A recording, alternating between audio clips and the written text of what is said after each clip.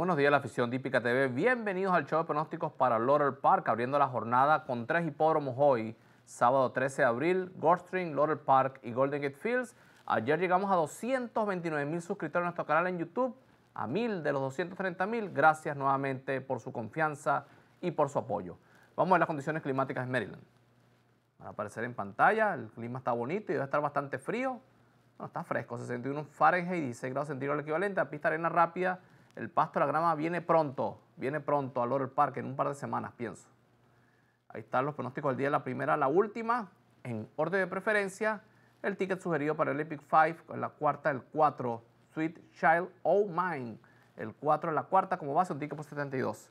En la primera carrera, Safe Fairlawn sin el 1 en la carrera, pareciera que Royal Spy el 2 con su velocidad y la monta del venezolano José Gregorio Torrealba, que anda en un gran momento, es el ejemplar a batir, pero el 5, Living Water, un ejemplar bien competitivo, vamos a ignorar por completo su última. Creo que este ejemplar con Ángel Cruz pudiera tratar de sorprender al 2, por eso lo colocamos como una doble línea del ticket. Y Crown Count Cristo, un caballo que vive un buen momento, va a rematar al final. Yo pienso que el 2 y el 5 deciden la carrera inicial. La segunda, 5 y medio fueron en la arena. Eh, están las selecciones de TV, un, un Always Optional Claiming, el 6. Nos agrada muchísimo el ejemplar Crusader Rabbit, un ejemplar que debutó ganando. Este hijo de Into Mischief, hija de Into Mischief, un pedigrí poderoso. El número 4 en segundo término, Discreet eh, Ups, un ejemplar que también debutó con una excelente actuación. Esta hija de Army Mule. Son los dos mejores pedigrí de la carrera. El 7, Good Night Blessed. Eh, un de Good Night God Bless. Un ejemplar con bastante oportunidad. Esta hija de Antice eh, va a correr colocada y como el 6 y 4 son velocitas, el 7 pudiera rematar. Y el número 2, Super Simplify, un ejemplar que debutó ganando. Así que 6, 4, 7, 2, bien pareja la segunda. Tercera, un starter Allowance en una millón 16 sobre la arena.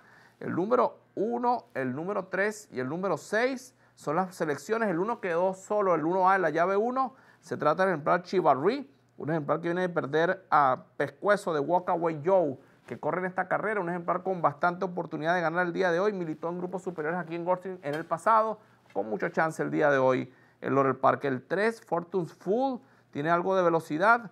Va a ir agresivo a buscar la carrera temprano tras el retiro del 1 y el 2, que eran caballos rápidos. Así que el 3 con un chance de alcanzar la victoria y el 6, que ya lo mencionamos antes, Walk Away Joe derrotó a Chivarri en su más reciente y con Michael Sánchez tratará de derrotarlo de nuevo. Está pareja la carrera 1, 3 y 6. Pasamos a la carrera 4. Es el primero de cuatro stakes el día de hoy. Es el Heavily Cost Stakes. 100 mil dólares en una milla en la arena.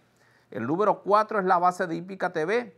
Sweet Child Oh Mine. Un ejemplar que viene de ganar de punta a punta en su última. Una hija de Mychaf que tiene velocidad. Y yo pienso que con Jaime Rodríguez va a ir al frente va a controlar a placer el paso de la carrera y tiene pedigrí para la distancia. En esta ocasión ella va a ganar de punta a punta, esa es nuestra apuesta aquí. El 2 Intrepid Dream va a perseguirla, un ejemplar que viene a ganar en la milla, pero no tiene la velocidad que tiene el 4 y yo pienso que el 4 hoy la va a vencer, así que por eso nos arriesgamos. Pasamos a la quinta carrera en Laurel, Safe Fairlawn en la arena, una carrera que es debutante y pero con precio de reclamo de 36 a 45 mil. En esta carrera multipliquen. El número 7 Conceptualize no ha podido en sus últimas, pero viene amenazando. Hay que colocar a los tickets. Wonder Girl, la número 4, un ejemplar que ganó super última, descalificaron. Esta vez pudiera ser su día. El número 10, Cozy Notion, excelente debut. Luego fracasó con oportunidad de ganar. Las tres son algo irregulares, pero con mucho chance. Y la velocidad Italian War Cry va a salir adelante con Gevian Toledo y pudiera crecerse. Así que 7, 4, 18. Sexta el Laurel. Una milla para este Allowance con un premio de 48 mil dólares ejemplares criados en Maryland. Comienza el Pixie, el ticket por 96, la décima el 3, eh, Shaft Bullet como base. En esta carrera número 6, el 7, Cover the Spread, un ejemplar bien competitivo, ganó en gran forma en su penúltima, reaparece ciertamente, pero ha trabajado bien. El número 4, el ejemplar Bay Street, un ejemplar que viene corriendo en forma muy consistente, eh, dos, placés, dos, eh, dos, victorias, dos placés y dos terceros, quise decir, en siete actuaciones. Y con Gevian Toledo va a estar cerca adelante y se le puede presentar la carrera. El número 5, Midsummer's Eve, debutó ganando un pedigrí muy bueno para este hijo de, hija de Midnight Loot. Y con Forest Boys va a caer con fuerza al final y pudiera sorprender. El 1, Angel of Canterbury, es la velocidad de la carrera, es una alternativa de long shot, 7, 4, 5 y 1 abriendo. La séptima, es un reclamo ejemplar con precio de 16 a 20 mil, comienza el late pick 5, un derivado exacto del pick 6, lo hicimos por 80, un poquito más caro, pero si acertamos el pick 6, este ticket también pudiera anidarse. 5 y medio Ferno en la arena, el 3 Irish Bandit fracasó en la última, pero baja de nivel y es el más rápido de la carrera. El número 7 en segundo término, el ejemplar Little Lance, un ejemplar que va a correr colocado. Si la velocidad colapsa, este es el que va a caer primero con Jaime Rodríguez, mucho chance también. El número 5, Neil, of the King, Neil to the King, en su última no pudo, pero baja abruptamente de nivel y este caballo va a rematar durísimo y con un buen dividendo pudiera ganar.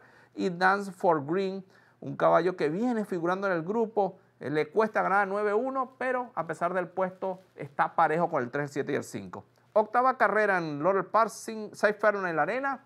Es el Primoneta Stay por 100 mil dólares en Safe repetimos. Comienza el Epic 4. El ticket es por 37,50, similar al caso del Epic 5. Derivado del Pixie me refiero. El número 5, eh, Disco Evo, un ejemplar que tiene mucha rapidez. No pudo ir el Barbara pero esta distancia es más corta. Lo va a intentar. Con Sheldon Ronce va a ir a la punta y tratará de aguantar hasta el final.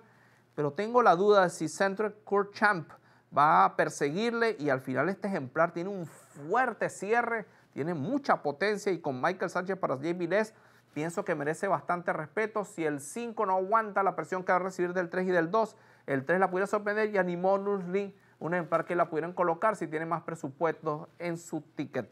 Eh, la novena carrera es el Frank Wiley eh, por 100 mil dólares en 7 ferros en la distancia. Coastal Mission, el número 1 tras el retiro del número 8 este ejemplar creemos que va a ir a la punta y tratará de aguantar hasta el final, pero el número 4 Royal Ship, el brasileño, a pesar de la falta de experiencia en la distancia, pero es que este caballo va a correr colocado y va a remeter como una locomotora a la recta final. Eh, es una duda si va a poder responder en la distancia, pero es un caballo superior y repito, ha trabajado bien, va a cerrar con mucha potencia y pudiera ganar la carrera. El número 7, eh, Prince of Jericho, un caballo que le cuesta a veces atropellar, pero en su última ganó y atraviesa un buen momento. Y el 624 Mamba, un ejemplar que también esta distancia lo hace bien de 5-2 y va a correr colocado detrás de la velocidad, así que unos 4, 7 y 6 tratando de amarrar la novena. Última, eh, décima carrera del Laurel Park, penúltima, una milla y un octavo, 1800 metros eh, con un premio de 100 mil dólares, el Native Dancer Stakes. Aquí está la base de Hípica TV para el Pixie Shaft eh, Bullet, un ejemplar hijo de Mind Shaft Viene a ganar con contundencia en la milla, un ejemplar que corre colocado y tiene un pedigrí tan poderoso para la distancia. Cuando este caballo empieza a avanzar, yo pienso que va a estar completamente indetenible, así que creemos que va a ganar la carrera. It's Season Time, el número 6, un ejemplar con velocidad, pero no creemos que pueda con el empuje de este caballo en la milla, no lo pudo contener y en una milla y un octavo va a ser más complicado aguantar este número 3. El número 3 Magic Michael, un ejemplar que va a figurar en nuestra opinión, corre bien la distancia, con Jaime Rodríguez se va a meter el exacto trifecta y el 5 Be Better, un caballo lento, lerdo, él va a venir al final y se pudiera meter en las exóticas también. Yo pienso que el 3 es mucho para este grupo en esta distancia. En la última, el Laurel Parsons, 6 Ferro, el ejemplar con precio de reclamo es 5.000 apenas, 6 Ferro en la distancia, discreta. Multipliquen aquí el 5, el ejemplar Ladro di Fichi, un ejemplar que ganó en Penn National en su más reciente, un ejemplar que debería ganar esta carrera por superior, pero se ha venido a menos. Feynord Phillips, el número 7, en su última ganó en un grupo más fuerte que este, lo reclamaron, le ponen las aprendijos de Torreal y la bajan de categoría, mala señal, pero es un ejemplar con chance.